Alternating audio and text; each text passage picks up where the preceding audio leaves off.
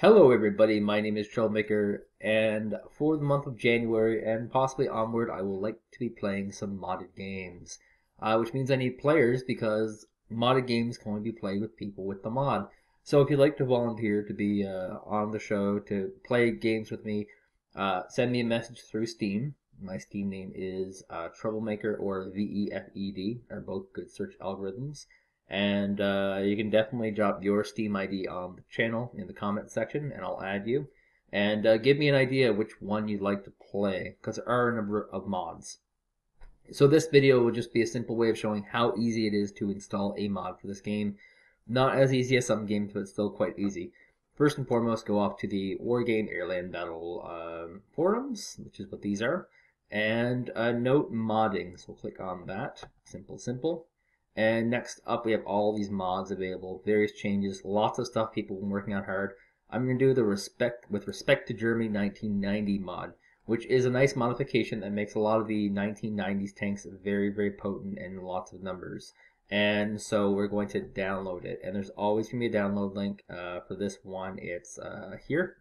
So we'll open up this little pagey and we'll go to the downloads and we will download it. So once you have it downloaded, you need to open it up and you'll have this data folder. Now we'll just go over here and we have to find our Steam path. So mine's going to be slightly different than yours.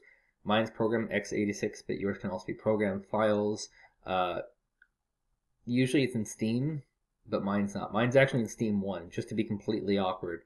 And uh, we'll click on Steam Apps common. And here's a list of games that we have files for. And we'll go to Wargame Airland Battle. And we're going to deposit this file here. So yes, we will overwrite.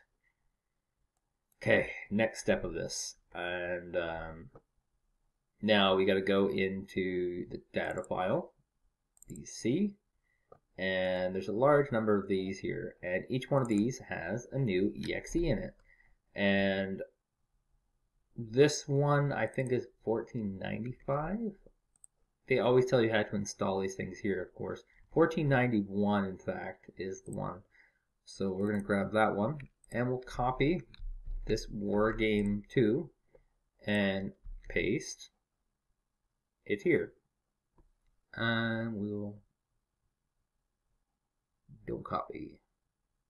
Wait, yes, copy and replace. Okay. So now we have a brand new modded game completely available.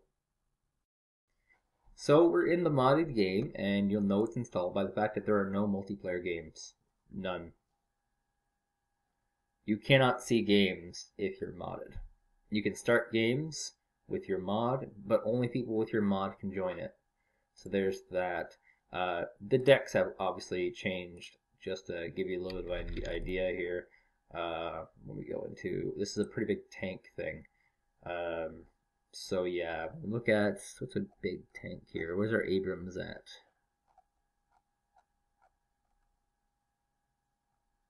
Do we not have an Abrams? Do they remove the Abrams in this particular matchup? Actually, let's get rid of everyone but America. There we are. There's our Abrams. So, uh, very you know cheap. They're a little more balanced, better for uh, for gameplay, and uh, you, you, know overwhelmingly looking good. Uh, the future of this stuff is the insignias. Obviously, that's going to be a big, big part of uh, future development of these mods. They'll be, they've actually unlocked the texture pack, so that will be something pretty big. And uh, yeah, that's mostly that. Uh, once again, if you'd like to um, play with me come January, when we'll be back with some war game, uh, make sure to drop a comment. Say you want to play, and we'll try and set up some games. Thank you guys for watching.